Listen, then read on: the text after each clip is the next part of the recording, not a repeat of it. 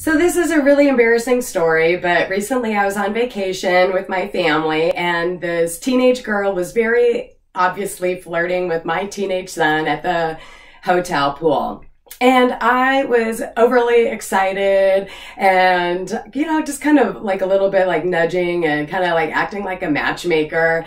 And as soon as we got to the hotel room, I admitted to him, I said, I was totally out of line. I made a mistake. I was really embarrassing. And from your point of view, I bet you wouldn't want to tell me about dating and stuff like that because I acted so badly. And I said, the good news is I learned from my mistake while we're in a different city. And I promise I'm not going to do that again. Will you forgive me? And he said, yes, I'm glad that you recognize how annoying you were. And thank you for being big enough to admit it. And I realized the power of this principle. When we admit we're wrong, not only do we have more trust from our kids, but we're also more likely to model and take away that stigma around admitting mistakes and just show growth mindset. Everything's just a learning experience. And our kids might be more likely to admit when they're wrong as well. So admit your mistakes, you'll have a happier family.